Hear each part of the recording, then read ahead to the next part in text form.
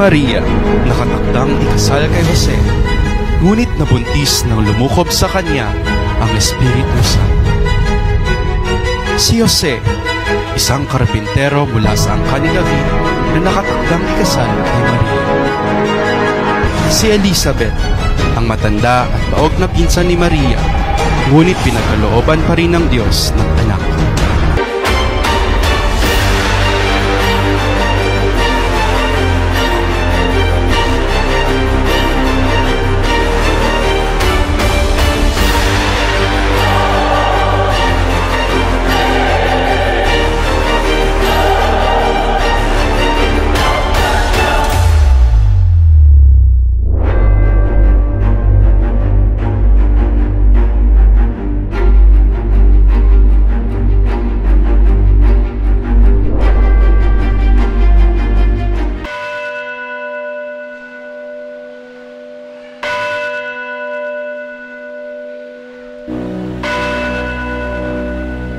Nang ika-anim na buwan ng pagbubuntis ni Elizabeth, inutusan ng Diyos ang anghel na si Gabriel na pumunta sa nayo ng Nazareth sa Galilea.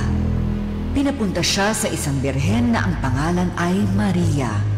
Nakatakda ng ikasal si Maria kay Jose na mula sa lahi ni Haring David. Sinabi ni Gabriel kay Maria, Matuwa ka, Maria. Ikaw na pinagpala ng Diyos. Sumasa iyo ang Panginoon. Napagabag si Maria sa sinabi ng anghel. Inisip niyang mabuti kung ano ang ibig sabihin noon. Kaya sinabi sa kanya ng anghel, Huwag kang matakot, Maria, dahil pinagpala ka ng Diyos. Magbubuntis ka at manganganak ng isang lalaki at papangalanan mo siyang Jesus. Isang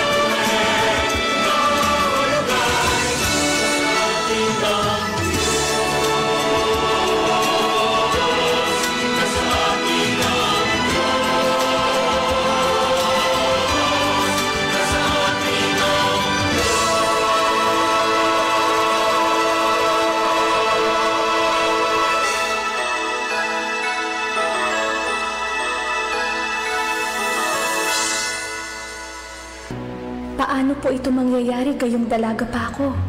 Sasa iyo ang banal na Espiritu at lililiman ka ng kapangyarihan ng kataas-taasang Diyos. Kaya ang banal na sanggol na ipanganganak mo ay tatawaging anak ng Diyos. Maging ang kamag-anak mong si Elizabeth ay buntis din sa kabila ng kanyang katandaan. Alam ng lahat na baog siya, pero anim na buwan na siyang buntis ngayon sapagkat walang imposible sa Diyos. Alipin po ako ng Panginoon. Mangyari nawa sa akin ang mga sinabi ninyo. at iniwan siya ng anghel. Hindi nagtagal, nag-ayos si Maria at dali-daling pumunta sa isang bayan sa kabundukan ng Judea kung saan nakatira si Zacarias. Pagdating niya sa bahay ni Zacarias, binati niya si Elizabeth. Nang marinig ni Elizabeth ang pagbati ni Maria, naramdaman niyang gumalaw ng malakas ang sanggol sa kanyang sinapupunan. Napuspos ng banal na espiritu si Elizabeth at malakas niyang sinabi, Higit kang pinagpala ng Diyos sa lahat ng babae. At pinagpala rin niya ang magiging anak mo. Isang malaking karangalan na dalawin ako ng ina ng aking Panginoon nang marinig ko ang pagbati mo sa akin. Gumalaw ng malakas sa tuwa ang sanggol sa sinapupunan ko. Mapalad ka dahil naniwala kang matutupad ang sinabi sa iyo ng Panginoon. at sinabi ni Maria,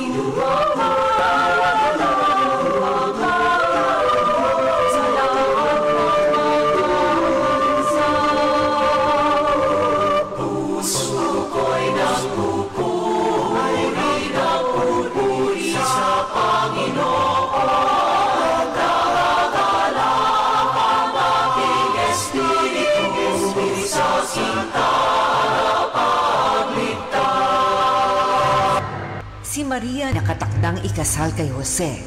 Pero bago pa sila ikasal, nalaman ni Maria na buntis siya sa pamamagitan ng banal na espiritu. Si Jose na magiging asawa niya ay isang matuwid na tao at ayaw nitong malagay sa kahihiyan si Maria. Kaya ipinasya niyang hiwalayan na lang si Maria ng palihim.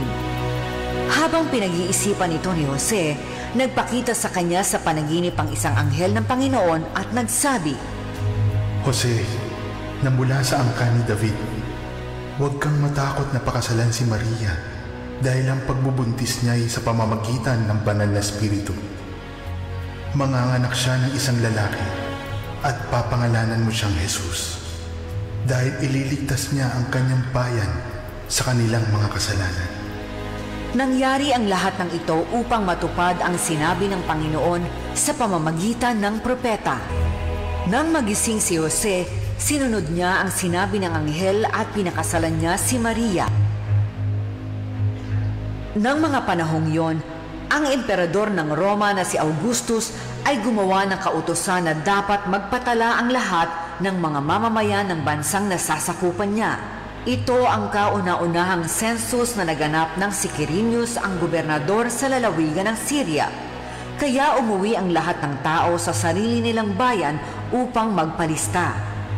Mula sa Nazareth na sakop ng Galilea, pumunta si Jose sa Bethlehem na sakop ng Judea sa bayang sinilangan ni Haring David dahil nagmula siya sa angka ni David.